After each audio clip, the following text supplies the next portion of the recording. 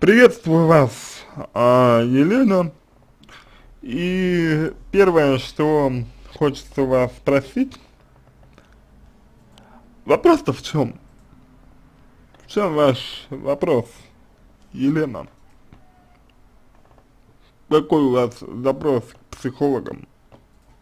Какой помощи вы хотите от психологов? А, я, если честно, не увидел в тексте у вас эм, вопрос. Я не видел тексты в тексте у вас запроса. Вы описываете эм, определенную ситуацию. У этой ситуации есть причины. Причины эти э, появились не вчера, не сегодня, Причины эти появились давно. Возможно, они были, э, были всегда. И не очень понятно, что вы хотите, что вы хотите от нас. Какой у вас вопрос? Какой помощи вы, вы, вы хотите от нас? Очевидно, что и вы, и мужчина а, имеете некие проблемы психологические. Вот коллега Кудряшов Игорь Леонидович говорит, что вы боитесь одиночества, и что отношения у вас зависимые. Может быть так, может быть. Может быть, есть что-то еще, еще. Но, э, что дальше, Елена? Чего вы хотите? Непонятно. Давайте разберем ваш а, текст, да? разберем ваш текст и прокомментируем его. Итак, я сама выгнала мужа, теперь не знаю, как вернуть. Почему выгнали и для чего вам его возвращать? Вот по факту ответьте себе на этот вопрос. Для чего мне возвращать своего мужа? Зачем мне его возвращать? Почему я хочу его вернуть? Э, своего мужа. Почему я хочу, хочу вернуть? То есть, если я его выгнала, да, то, ну, наверное, логично э, предположить, что если вы его выгнали, то вам что-то не нравилось. Ну вот, э, в нем. Для чего же вы теперь хотите его вернуть? Откуда у вас это желание теперь его, верну, его вернуть? Вернуть его вы хотите, чтобы что? Э, мужчина не вещь, не вещь. Мужчина это человек. И как у любого человека, у него есть, ну, самоуважение, самолюбие. И нельзя, выгнав, выгнав человека, потом сразу же пытаться его вернуть. То есть тут вот, ну, есть некий такой момент. Я поняла, что погорячилась, но уже поздно. Погорячились-то почему? Ведь вы ниже описываете достаточно э, серьезные обстоятельства своей жизни. Ниже вы описываете достаточно важные моменты своей, своей жизни. Так погорячились ли? Мы в отношениях 12 лет. Есть ребенок, мальчик 7 лет. Были частные ссоры, расставания, но всегда мирились. Из-за чего были ссоры и э, как происходили примирения. То есть, э, что я хочу сказать. Примирение примирению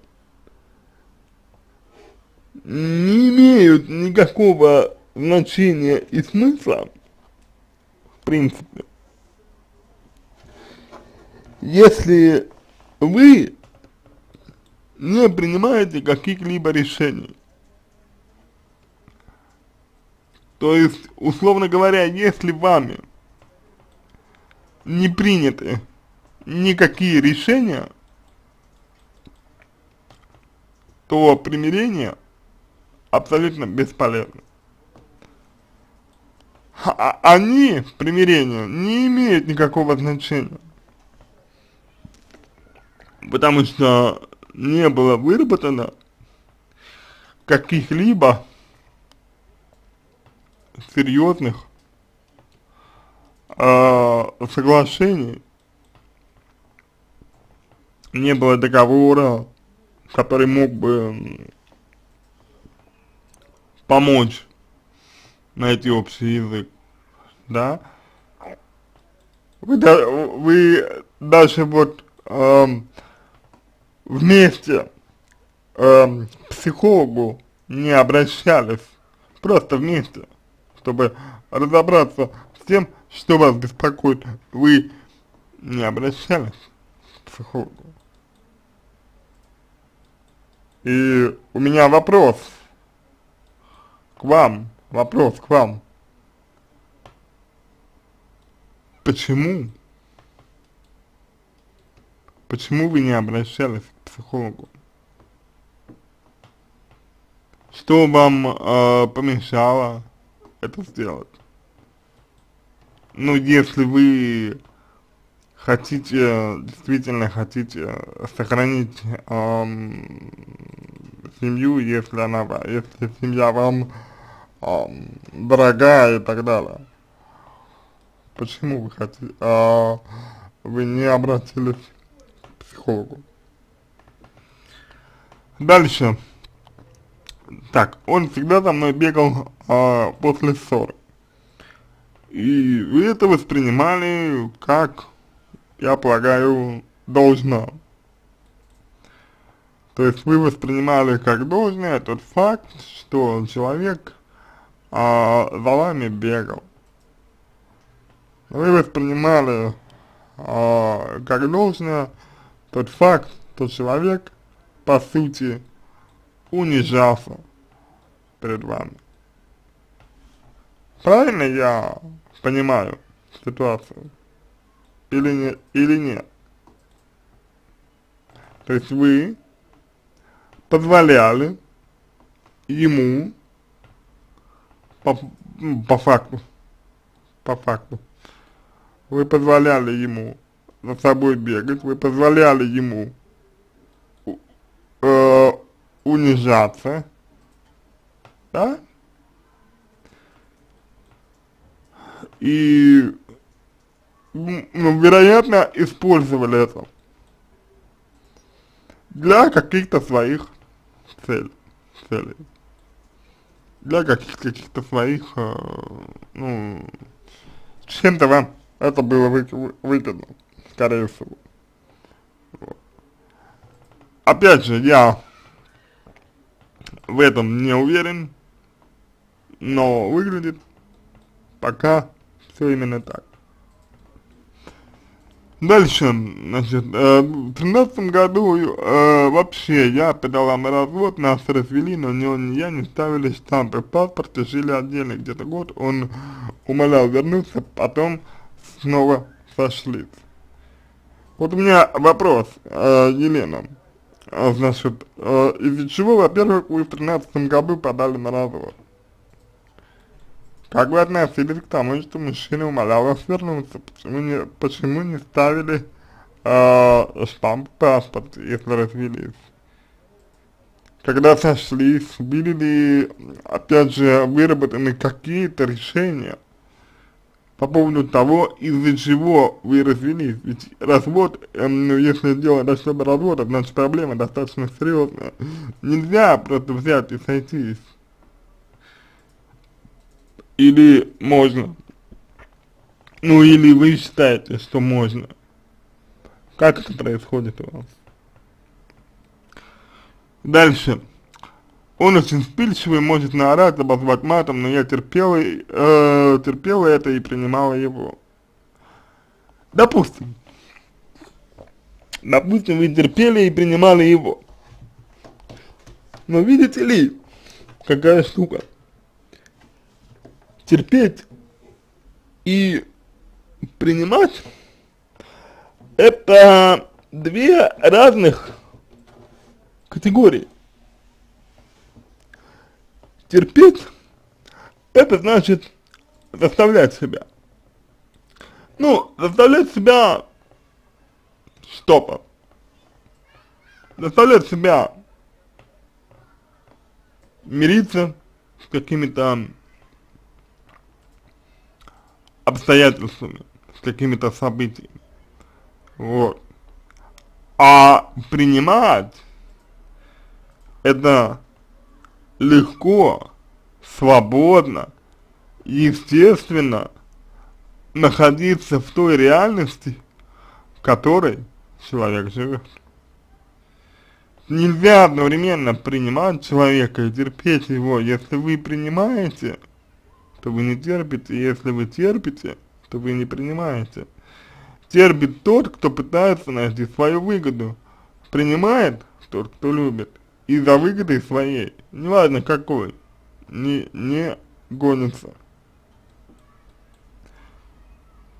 Для него очень важна работа, карьерный рост, очень амбициозный и добивается своего. Из работы часто ругались, так как мало времени уделял нам с ребенком. То есть, видите, вы с одной стороны как бы говорите, что ну я его принимаю, а с другой стороны вы ругаетесь за того, что он уделял времени вам с ребенком. Что, что значит вам с ребенком? Вы же с ребенком не единое целое. Есть, есть внимание, которое он уделяет вам, есть внимание, которое он уделяет ребенку. Но ребенок, давайте, вот так, ребенок э, ребенок с отцом разберется сам. То есть вы здесь э, адвокатом ребенка выступать не должны. Вы можете просто доносить какие-то вещи до, до, до мужа, но все, больше ничего. Что значит, что значит мало уделял внимания вам? То есть, вот давайте разберем эту потребность во внимании, она какая? Она психологическая, она когнитивная, ну, в том смысле, что вы, например, считаете, что муж вот должен, должен э, какое-то количество внимания э, уделять э, своей, э, ну, своей жене. Может быть, и, может быть, и он должен уделять внимание, но как это тогда вяжется с тем, что вы принимаете его, как вы говорите? Если вы знаете, что он амбициозный, если вы знаете, что он, для, него, для него важна работа и карьера, как? Как вы э, принимаете его?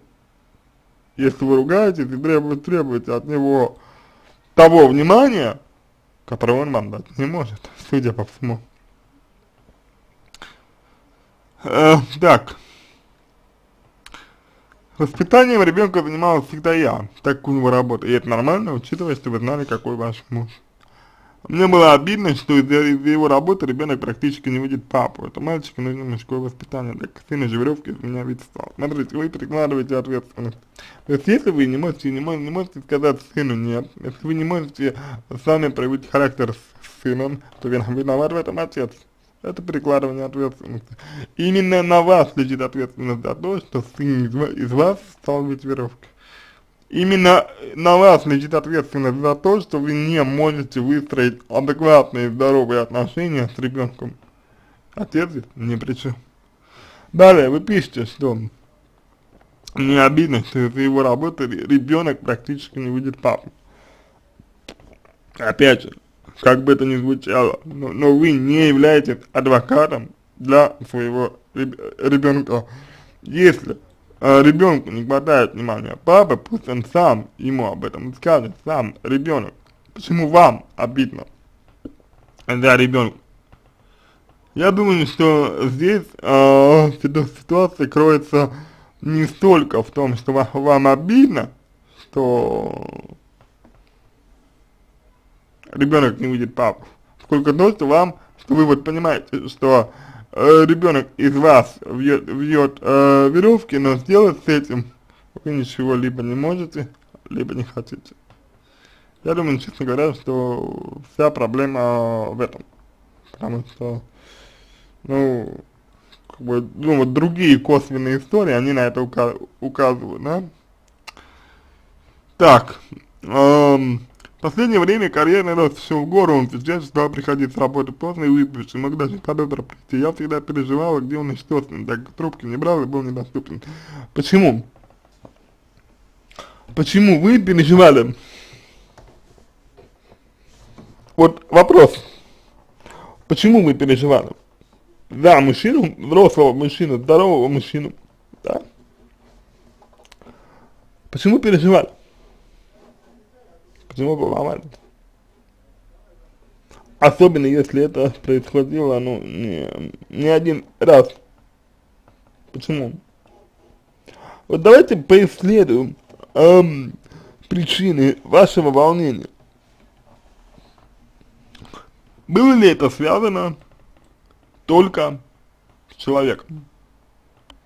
Или это было связано с чем-то еще? Ну, например, с вами, вы, что вы тревожились. Например, с вами, что вы чего-то боялись. Может такое быть? Как вы думаете? Вот просто, если подумать, если подумать, может ли быть такое? Давайте разберем этот момент. Давайте попробуем разобраться, насколько вы действительно понимаете хорошо свои чувства. Чувство тревоги, например, за мужчину. Я от этого устала. От чего? Разговаривала с ним, он мне говорит, что ты не понимаешь, я делаю это для нас, значит, семьи, налаживаем связи, если не выпьешь с ними, не уважает, значит, я сам не хочу, это необходимо. Простите. Так вы переживали за него? Или вы ругали его за то, что он выпивает? Подозревая, что он не работает, а развлекается? Давайте определимся. Реакция мужчины свидетельствует о том, что он защищается. Так.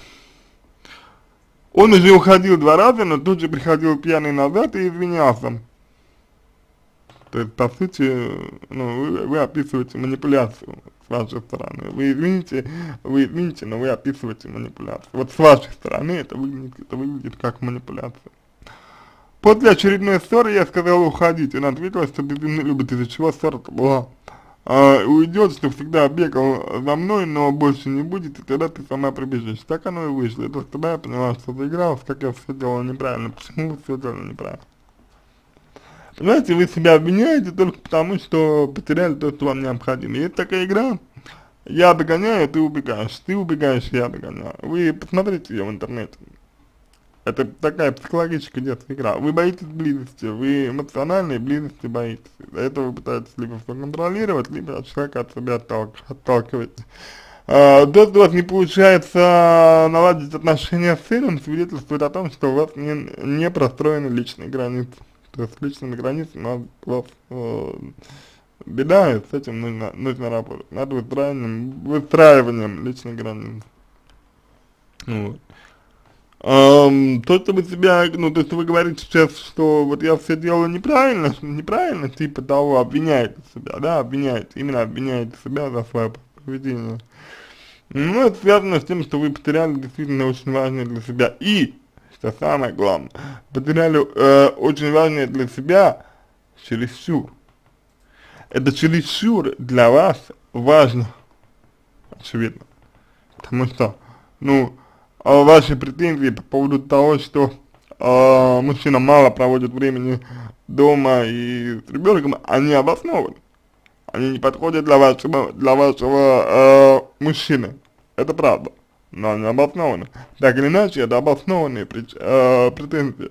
В любом случае. Просто они не подходят вашему мужу. И получается, что вы сейчас себя ругаете за то, что говорили о том, пусть и не совсем правильно, что вам важно. Это обесценивание своих желаний. И постановка их, своих желаний, зависимость от других людей. В данном случае, в данном случае от твоего мужа. Дальше. Э, так, когда я пришел к сыну, и к сыну, я бросилась к нему, просил прощения, моляла вернуться. Это при, при сыне, что ли? Зачем так? Зачем вы унижаете? Знаете, да, вы, вы унижаете. Кто он унижает, кто вы унижаете? Но, как бы, от любви до ненависти один шаг. И вот, он, когда он вас любил, он унижал. Он увидел, как унижаете вы. Научился вас, манипули, манипули, манипуляции, я так полагаю. Вот. И вкусил это, вкусил это, вот эту власть, ощущение власти. И дальше справедливо это то, что говорит мой коллега Кудряшов Игорь Леонидович. Так, а, значит, молял вернуться, зачем, за что вы просили прощения? Опять, вот за что, Елена, вы просили прощения, если по идее вы говорите о том, что вас волнует, и вы говорите о вещах, которые имеют место быть, но это, это ваше желание. Так за что вы просите прощения? Вот, ну вот по факту, за что?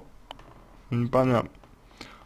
Он стал на своем, сказал, что устал, что он не ушел, если моего выгнала, что давайте друг друга мучиться. Это правда, найдешь себе мужчину, который будет любить тебя и приходить домой рано. Но это тоже правда.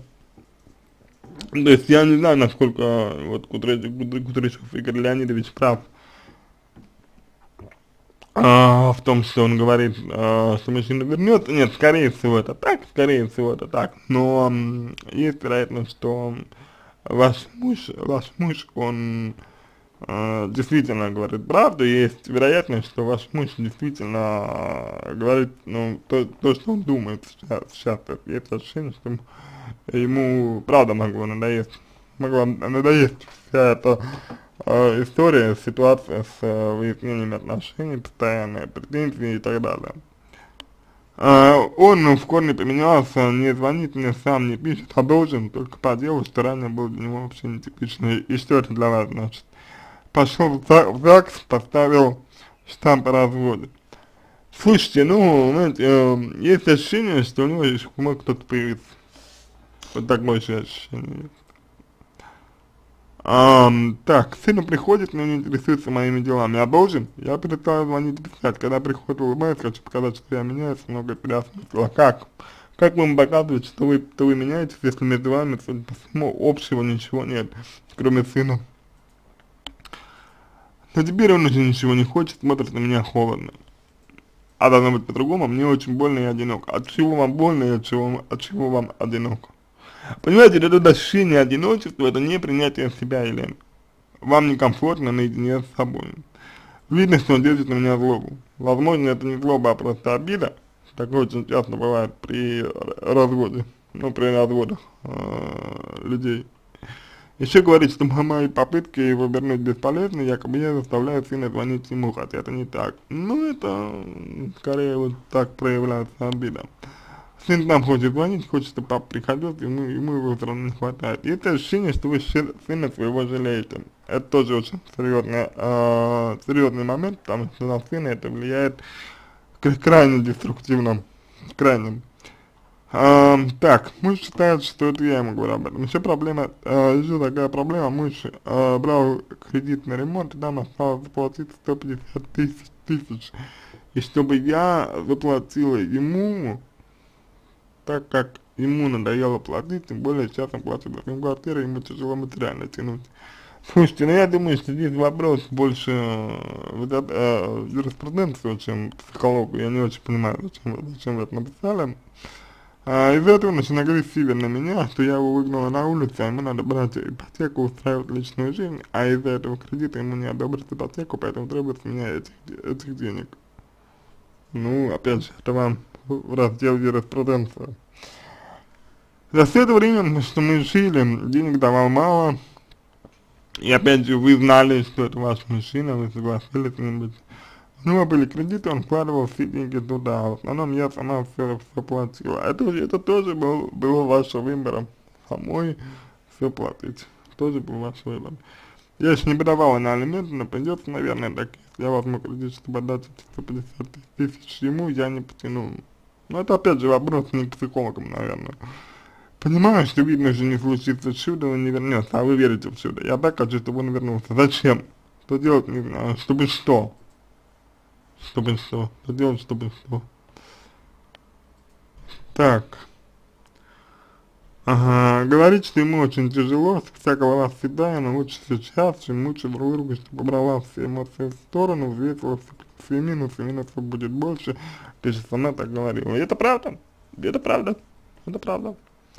Еще сказала, что теперь представь, как между меня, э, как меня разрывало эти 12 лет, когда мы ссорились, расходились, мирились. Ты ты красавец, надеюсь, тебе достойно, все будет хорошо, просто время станет легче. Ну, есть ощущение, что он вам просто мстит. Есть ощущение, что он просто вот, ну, эм, как бы, хочет, хочет показать вам, как было плохо ему. То есть принцип, принцип Талиона такой. Так, от этих слов меня просто разрывало, когда я просил его вернуться. Почему разрывало? Я так ругаю себя э, за это, понимаю, что это все. Но опять же, в чем ваш вопрос, да, именно к психологу Елена, чего вы хотите, не совсем понятно. А, жертва находится в позиции жертвы, я рекомендую вам изучить, изучить треугольник Карпмана, чтобы вы увидели, что такое позиция жертвы. вот, из позиции жертвы вас можно вывести через принятие личной ответственности за то, что происходит в вашей жизни. Вот. И тогда уже вы будете видеть, куда двигаться дальше. Вот. Пока что вы просто вот, знаете как, упали, а, раскинули руки в разные стороны и хотите, чтобы, чтобы вам помогли. То есть сами вы делать сейчас вообще ничего не хотите, не хотите. У меня есть ощущение, что вы вот э, психологически очень не, не самостоятельны и зависимы от, от других людей. Это нужно корректи корректировать. То есть работать с самооценкой, с личными, личными границами, с эмоциональной сферой. сферой. Вот. Тогда, возможно, изменить, действительно изменившись, я просто не знаю, как, как вы меняете э, сейчас, но тогда, действительно изменившись, вы имеете э, э, шансы вернуть своего мужа вы имеете такие, такие шансы. вот. Только тогда. Сейчас нет, сейчас нет. То есть, если мы сейчас э, вернется, это будет так, как э, описывает мой коллега Кудряшов Игорь Леонидович. И, пожалуйста, сформулируйте свой вопрос психологу. Что вы хотите от психолога? Вот как, какая помощь, в чем вам нужна? Знаете? Вернуть мужа? Ну, можно попробовать, но это не гарантированно. Разобраться в себе, то, то что вам можно и, и нужно сделать, и то, что может реально сделать психолог. Вот, мужу можно написать амортизационное письмо, письмо. Что такое амортизационное письмо, можете почитать в, интернет, в интернете. Опять же. На этом все. Я надеюсь, что помог вам. Если вам понравился мой ответ, буду благодарен за его оценку в качестве лучшего. Я желаю вам всего самого доброго и удачи.